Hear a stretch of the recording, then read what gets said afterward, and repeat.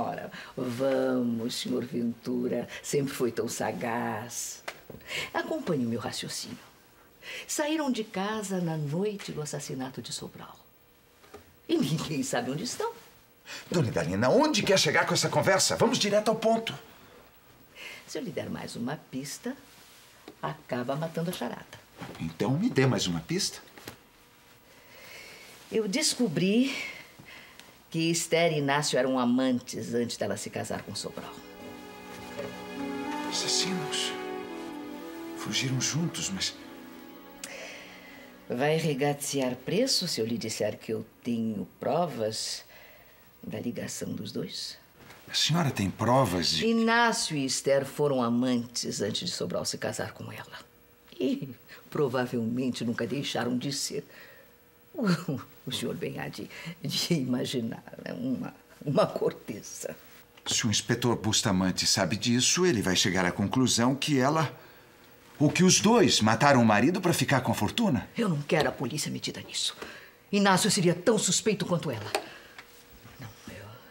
Essas provas devem ser usadas só. Para que eu dobre os dois e fique com ouro verde. Dessa vez por um preço bem interessante. Exatamente. Posso ver essas provas? Se pagar o que vale. Mas que provas a senhora tem que. Uma fotografia em situação bastante romântica. O fotógrafo pode testemunhar quando foi tirada. O nome e o endereço dele estão no verso. Foi antes mesmo da morte de minha filha. Uma pulseirinha que pertenceu à avó paterna de Inácio e, e que, a despeito de seu apego por ela, o meu neto a deu de presente a Cocotte. E, bem mais grave, mais importante que isto, uma carta assinada por Inácio, chamando Esther de Larmare, pedindo-lhe que viesse ter a fazenda Ouro Verde logo após a morte de sua mãe, para que se casasse. Mas então ela. Ela deu o golpe na família? Não. Ela recebeu a carta depois que se casou com Sobral. Não sabia que era o pai de Inácio. Uma série de enganos e desencontros afastou Inácio de Esther e jogou Sobral nos braços da Messalina. Há muitas testemunhas da paixão irresistível que Inácio sentiu por uma mulher misteriosa no período que passou na corte. A mulher desapareceu. Estou entendendo, a senhora. São muitas armas contra os dois.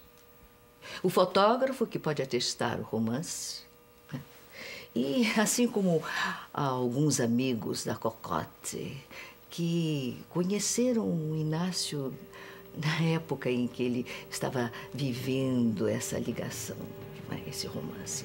Eu posso, se necessário, lhe dar os nomes dos que sabiam dessa ligação. Mas eu, garanto que, de posse dessas provas, vai dobrar Inácio e Esther finalmente ser proprietário da Ouro Verde. Sobral casou-se com a rameira em regime de comunhão de bens, o que faz dela dona de metade da fazenda. Não, ah, os meninos herdam a outra metade. Nessa situação, Inácio não teria coragem de regatear o preço? A quarta parte que resta pertence a Abelardo.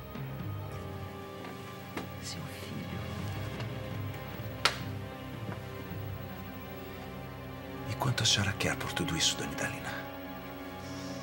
Os mesmos 300 contos de réis que me negou antes. Ficar parado é perder terreno para o inimigo. O Higino foi feito barão. Você não precisa me lembrar disso. Desculpa, meu amor, mas é que... É que essa situação toda, o assassinato do Sobral... Eu não queria deixar Santana sem ter certeza que descobriram o assassino. Fico preocupada com a Esther, com o Inácio. Acho que podemos ajudar. Você descobriu o copo com veneno, Mariano. Enquanto pudermos ficar, investigar. Acho que eu não gostaria de ficar aqui. De pegar o assassino do Sobral. O mesmo homem que matou meu pai, Padre Olinto, para impedir nosso casamento. A pessoa que nos faz tanto sofrer. Acho que eu não queria meter o Gino Ventura na cadeia e viver com você aqui no meu país. Meu amor, esse sofrimento... Não, não é sofrimento, Olivia. Se for para ter você do meu lado, livre, viva. Infelizmente, a única alternativa que temos agora é fugir daqui o mais rápido possível.